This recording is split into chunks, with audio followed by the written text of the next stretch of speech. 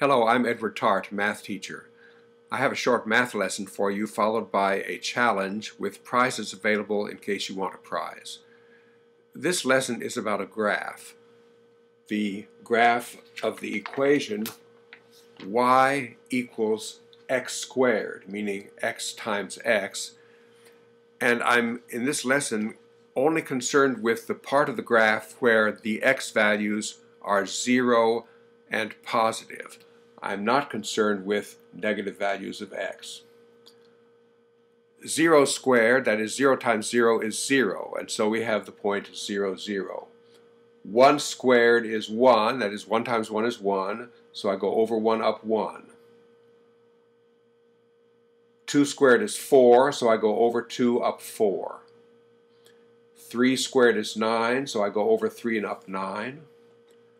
4 squared is 16, so I'll go over 4 up 16. 5 squared is 25, so I go over 5 and up 25. And so on indefinitely. The x's continue indefinitely to the right, and so does the graph, continuing indefinitely to the right as it gets steeper and steeper. How steep is this graph? Well, it depends on where you are. Uh, near the bottom of the graph, it's not so steep, but the further you go up the graph, the steeper it gets. The steepness of the graph at any particular point is considered to be the steepness of what's called the tangent line at that point, a line that just barely grazes the graph at that point. And I want to give you a few examples of steepness numbers. This sheet illustrates steepness numbers 2, 4, 6, and 8. Here we have a graph, a line that goes over 1 up 2. That's a steepness number of 2. Here we have another one that's steeper, goes over 1 up 4. That's a steepness number of 4. Here we have one yet steeper, over 1 up 6, that's a steepness number of 6. And here we have over 1 up 8, that's a steepness number of 8. The bigger the steepness number, the steeper the line is. Well, for this graph, it's a fact of calculus that the steepness number of this graph at any particular point is simply 2 times the x value at that point. And so where the x value is 1, right here, it is steep enough to go over 1 up 2.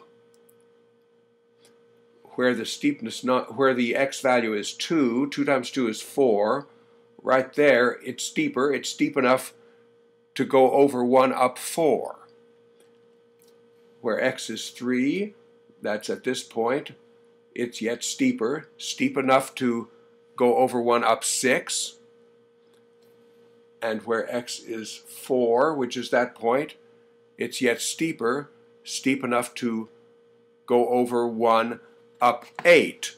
So I've just described the four steepness numbers that I showed on this sheet, steepness numbers of 2, 4, 6, 8. And the higher you go on this graph, the steeper it gets, the biggest, the bigger its steepness number. And there's no limit to how big the steepness numbers get. 2, 4, 6, 8, 10, 12, 14, 16, 18, 20, and so on indefinitely. Now, we're getting close to the challenge. Does this graph have vertical boundaries?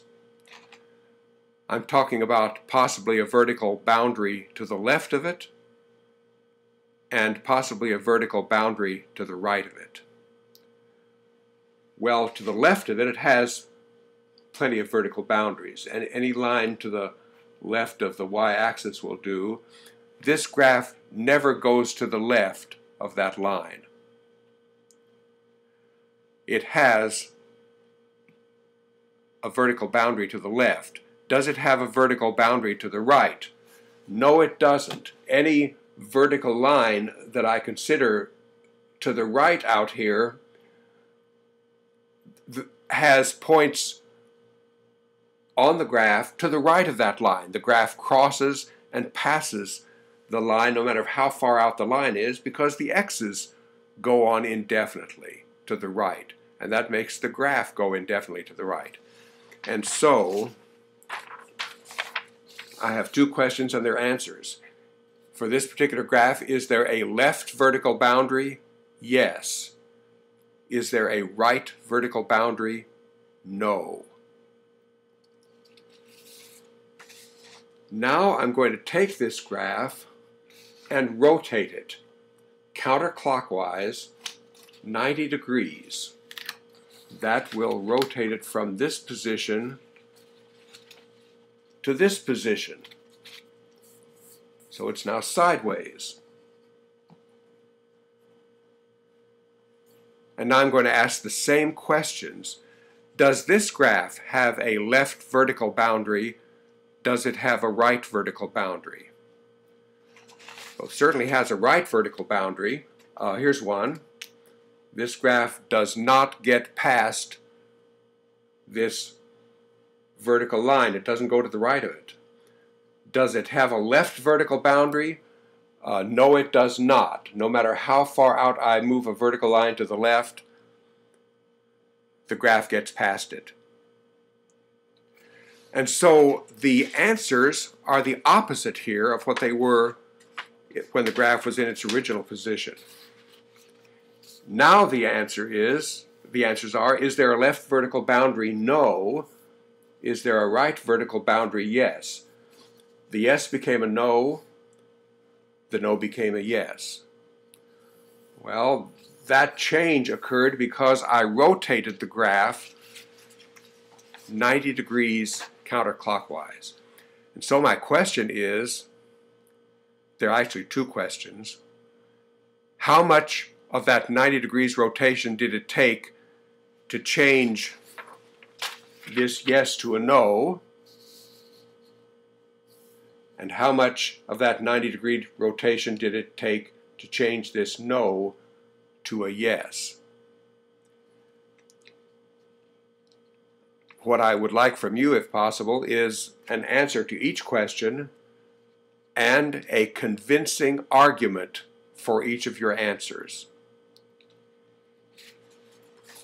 If you can do that, please don't do it at the comments section of this video. Instead, go to my profile page, click on Send Message, and message me your answer. And if I am satisfied with your answer, you can have a prize if you want it.